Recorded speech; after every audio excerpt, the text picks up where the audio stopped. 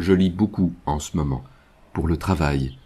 La bibliothèque participe au prix des lecteurs et des lectrices des bibliothèques de la ville de Paris, décerné chaque année à un premier roman. Dans le cadre de la rentrée littéraire également. Les éditeurs publient cette année de nombreux livres de jeunes auteurs, des premiers romans prometteurs. Je me sens parfois si loin de la justesse et de la perfection recherchée de leurs textes.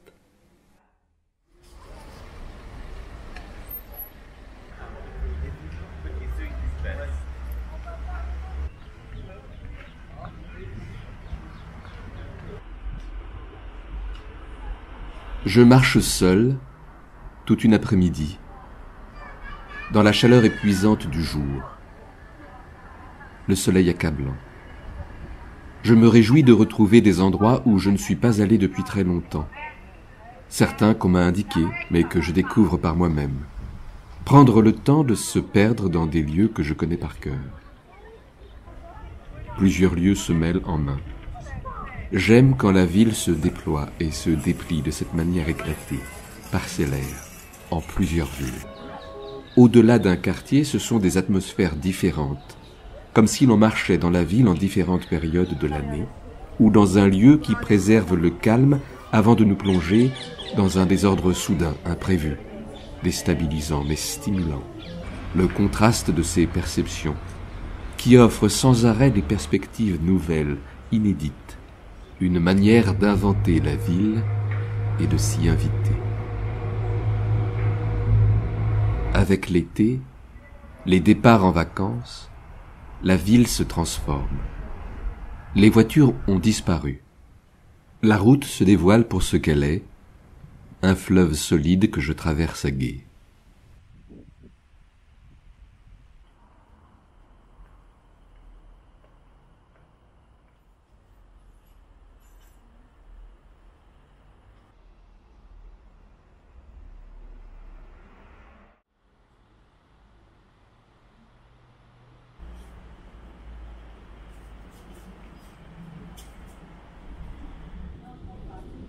Pendant une semaine, seul à la maison.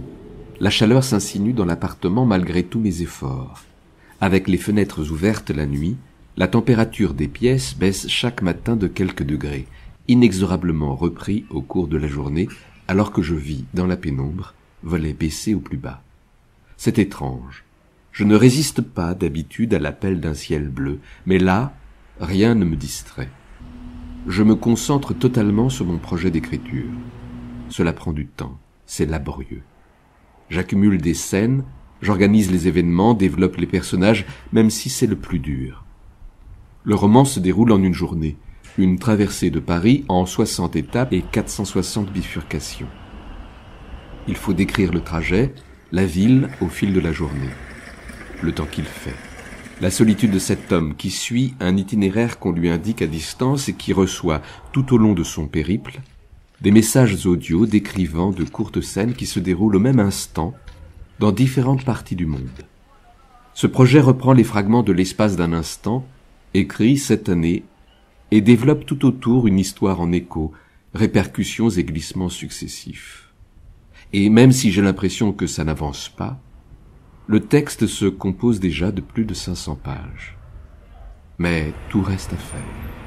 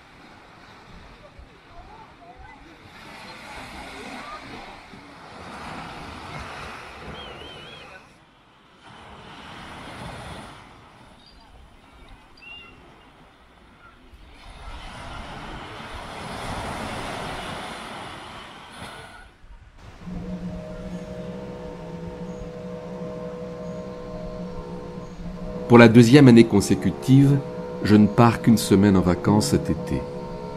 Je rejoins Alice et Caroline à Edenville, près de Granville, dans le lieu où Caroline a vécu une partie de son enfance.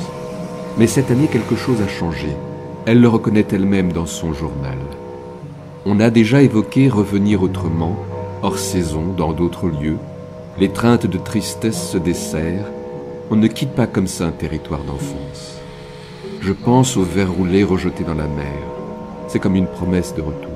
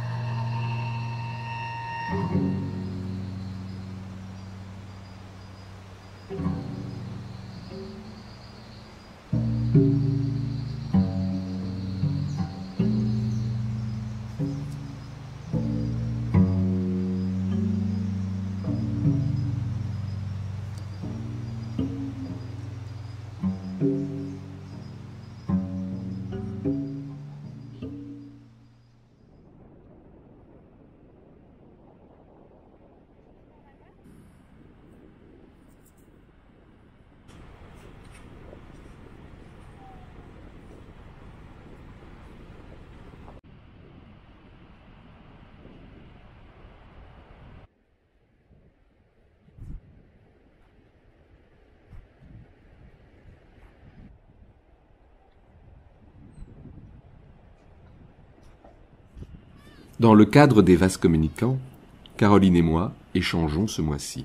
Nous passons toute la journée ensemble. Nous marchons à travers les bois de la vallée des peintres. Nous nous promenons sur la plage, grimpons sur les falaises de Carole. Après avoir accompagné Alice à la gare de Granville, car elle partait un jour avant nous, nous sommes revenus à pied en empruntant le chemin de randonnée qui longe la mer, sinuant à travers falaises, dunes et zones pavillonnaires. Mais cela ne nous empêche pas de filmer, chacun de notre côté, les scènes qui nous attirent, les endroits qui retiennent notre attention, un paysage, un mouvement, une lumière. Dans la répétition, des motifs se développent, en variations détournées. C'est amusant de voir comment, dans le même lieu, nous parvenons chacun à saisir des choses différentes. Éclats de lumière, vent dans les arbres, envol imprévisible d'oiseaux, formes et couleurs irisées des nuages dans le ciel en fin de journée, incessant mouvement des vagues.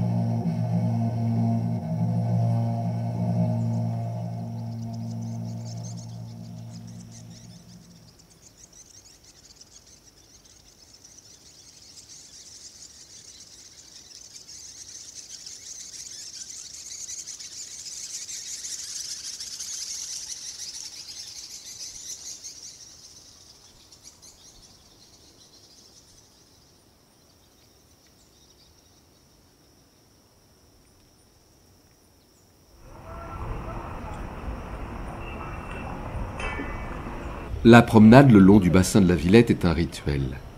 Quand je ne sais pas où aller, quand je ne sais pas où je vais. Un lieu pour revenir à soi. Au retour des vacances, difficile d'oublier les bienfaits immédiats de la campagne, de la proximité avec la mer, au moment où le soleil se couche à l'horizon. Le dialogue muet qui s'instaure en secret, profondément en soi, car c'est également une tradition. En ville, une manière de prolonger cet équilibre entre le ciel et l'eau, cette confrontation salutaire. Nous regardons depuis quelques semaines la série Friends dans son intégralité, tous les épisodes les uns après les autres. Alors que jusqu'à présent je les ai regardés dans le désordre, plusieurs fois de suite, à des époques variées. Bien sûr, aujourd'hui je me rends compte que je n'ai pas vu certains épisodes. Ils sont rares. C'est un plaisir de les découvrir avec le recul mais surtout ce n'est pas la même histoire à laquelle j'accède. Je ne comprends pas que nous ne soyons pas plus nombreux à visiter dans l'écriture de nos textes, la conception de nos histoires, le potentiel créatif du récit linéaire. Je crois qu'il faudrait qu'un jour j'explique ce qui me fascine tant dans la réception d'un récit, d'une histoire, quelle que soit sa forme, film ou roman, saisie dans le désordre de ses fragments quelque chose qui a sans doute à voir avec les aspects aléatoires et lacunaires de la mémoire.